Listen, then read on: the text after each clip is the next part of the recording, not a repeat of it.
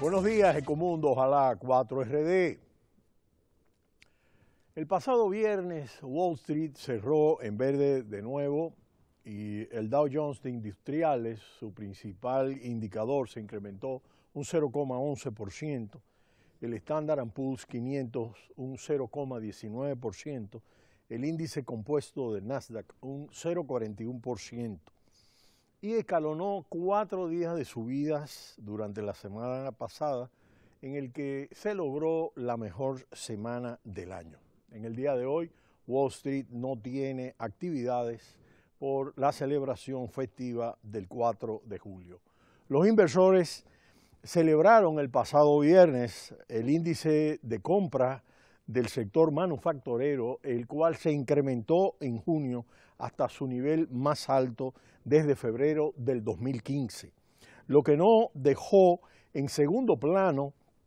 un dato mediocre en el gasto en construcción que se redujo en mayo un 0,8%, es decir, que un dato equilibró el otro dato. El petróleo de Texas, por su parte, se incrementó un 1,37% hasta 48,99 dólares y el petróleo del Brent se incrementó 1,36% hasta 50,36 dólares. Por su parte, el oro se incrementó hasta 1.343,80 dólares y la rentabilidad de la deuda pública de los bonos del Tesoro a 10 años se redujo al 1,445% y el dólar perdió terreno frente al euro que se cambiaba a 1,1128 dólares. Habíamos comentado cómo los mercados se iban a recuperar en un momento dado tras el Brexit, sobre todo por el tamaño de la economía británica. Y aunque va a tener repercusiones hasta este final de año y los próximos dos años, ya de acuerdo a los indicadores que han dado el Banco de Inglaterra, el Banco Central Europeo y otros organismos internacionales, de entrada las bolsas se recuperaron como habíamos estado eh, planteando. Sin embargo, los aspectos económicos centrales de lento crecimiento, bajísima inflación y alto nivel de desempleo se mantienen. Y vamos a pasar un pantallazo sobre las tendencias del primer semestre del año que hemos venido siguiendo en Ecomundo. Si nosotros vemos esta retrospectiva desde finales, mediados 2015 hasta el momento actual, es evidente la débil recuperación y el futuro lleno de riesgos que se presentan ante la economía global, sobre todo después de esta situación de la salida del Reino Unido de la Unión Europea. En sus perspectivas económicas globales publicadas en junio, el Banco Mundial modificó a la baja su perspectiva de crecimiento global a 2,4% con respecto al ritmo que ellos habían planteado de 2,9% proyectado en enero. Su proyección a la baja se debió al crecimiento aletargado en las economías avanzadas, a los precios de las materias primas persistentemente bajos al comercio global débil y a los deficientes flujos de capital en el primer semestre del 2016. En abril, por su parte, el Fondo Monetario Internacional también redujo su pronóstico del crecimiento global para el 2016 a 3,2%, bajo el argumento de que la economía mundial crece a un ritmo más lento que deja a la economía más expuesta a riesgos. El Fondo Monetario Internacional pronosticó que en los cinco años próximos la producción económica global puede disminuir 4% de su cifra normal, lo que significa que la nueva mediocridad en que se está volviendo la nueva normalidad de la economía global, bajo estas circunstancias adversas actuales, los gobiernos de las principales economías del mundo están ajustando las políticas para asegurar un estímulo sostenido para proteger la recuperación que está siendo vulnerable. Sin embargo, las contramedidas pasivas para superar a los ajustes activos están resultando insuficientes. El pasado 16 de diciembre del 2015, la Reserva Federal de Estados Unidos incrementó las tasas de interés por primera vez en casi una década. El pasado 16 de diciembre, la Reserva Federal aumentó por primera vez las tasas de interés de los últimos 10 años, lo que mostraba un creciente optimismo en la economía norteamericana desde la gran recesión del 2007 al 2009. Después de eso se esperaba ampliamente todos los analistas y expertos que la Reserva Federal incrementaría las tasas de interés en otras cuatro ocasiones. Sin embargo, eso no sucedió en los seis meses pasados. La expectativa de otra alza en las tasas de interés ha ido disminuyendo para lo que resta del año, sobre todo después de que el Reino Unido votara a favor de abandonar la Unión Europea. Y esto ha sido evidente en las últimas dos reuniones donde ha estado claro que la Reserva Federal y su presidenta Janet Yellen han planteado lo que sostienen peligros de las turbulencias financieras que desatan estos acontecimientos globales sobre la economía norteamericana que entienden pueden ser negativos.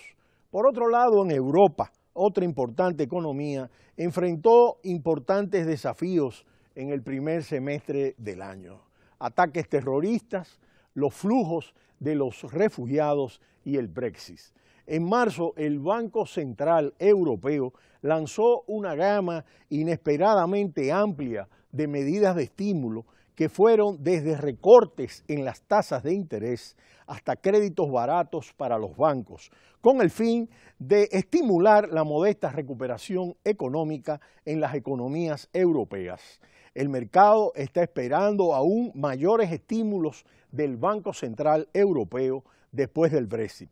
Y es un hecho bastante claro y hemos ofrecido las estadísticas de Eurostat cómo ese nivel de crecimiento, aún en la economía alemana, que es la locomotora de la Unión Europea, está apenas en 1,6% y una lentísima eh, inflación a nivel de 1,2% y los niveles de desempleo altos, que la última cifra cortada el mes pasado anda en 8,6 para la Unión Europea y en 10,4 para todo el bloque comunitario de la Unión Europea. Por su parte, en Japón, la política económica Abenomics ha demostrado ser poco efectiva, a pesar de una política monetaria y fiscal de doble vía. En las economías recién emergentes como Rusia y Brasil, las medidas contra los precios deprimidos de las materias primas y los flujos de capital flojos en el mercado global han sido débiles e insuficientes y han tenido varios trimestres, tres trimestres por debajo en crecimiento negativo, en recesión técnica. China y India parecen ser los que tienen mayor hueco. Después de la expansión, China, después de la expansión de 25 años en que se desaceleró a mínimos en el 2015, inició una recuperación de su economía en una transición económica. Lo que está intentando, como hemos explicado ampliamente en Ecomundo, es hacer una transición desde la economía industrial hasta una economía de servicios. Y en este primer eh, trimestre ha tenido una ampliación récord del crédito para tratar de estimular a la economía. Esta medida, junto con la fortaleza del mercado inmobiliario y un repunte de algunas materias primas ayudó a estabilizar la economía en marzo y abril. Sin embargo, los datos de mayo muestran una pérdida de impulso y los analistas temen que si los funcionarios dejan de aplicar estas medidas de estímulo adicional, la economía se desacelere aún más en la segunda mitad del año. Comparativamente, nosotros vemos el caso, por ejemplo, de la India, donde se han mantenido tasas de crecimiento altas, pero sin la capacidad de arrastrar al crecimiento de la economía global, como lo hizo China en más del 50% del crecimiento entre 2009 hasta 2015 el gobierno de Narendra Modi eh, están impulsando una reforma económica y anunció recientemente amplias acciones para expandir la inversión extranjera en nueve áreas como parte de los intentos para abrir la economía. Lo que hemos estado de acuerdo a diferentes economistas de diferentes corrientes y los mismos organismos internacionales que han incluso sorprendido en sus declaraciones en cuanto a la necesaria revisión de las políticas económicas que se han estado planteando al amparo del libre comercio y del liberalismo. De manera que lo que se está previendo es una tendencia a que este bajo crecimiento, este lento crecimiento, se convierta en una especie de estancamiento secular donde el bajo crecimiento con la bajísima inflación y con un alto nivel de desempleo sean una tendencia estructural. Esto obliga necesariamente a los gobiernos, a los estados, a plantearse medidas de impacto que permitan combinar las políticas de relajamiento en términos monetarios y crediticios con unas políticas activas en el marco de las políticas fiscales en aquellos países donde exista el hueco suficiente para implantar estas políticas y poder incrementar las inversiones no solo en infraestructuras grandes, sino en infraestructuras medianas y pequeñas para estimular el empleo y al mismo tiempo poder introducir medidas importantes en el campo de la educación, sobre todo en las áreas de punta donde se está desplazando el mercado de trabajo. Estas medidas tienen que necesariamente tomar en consideración que es fundamental que se pueda redistribuir los ingresos y las mejoras salariales para incrementar el empleo y que ese empleo tenga realmente la suficiente capacidad para reproducir la fuerza de trabajo de manera que pueda tener niveles de satisfacción realmente satisfactorios, porque lo que hemos estado viendo es que esa clase obrera más vieja es la que ha estado reticente, es la que ha estado realmente descontenta frente a las políticas económicas que han estado vigentes en los últimos 25 años, porque los resultados del crecimiento no se han esparcido hacia el conjunto de la economía y ese es el punto medular hacia el cual los gobiernos y el Estado general tienen que intervenir para mejorar las condiciones de vida de la población. Pero será hasta mañana cuando volveremos en Ecomundo, ojalá 4RD. No le cambie, cita cultural.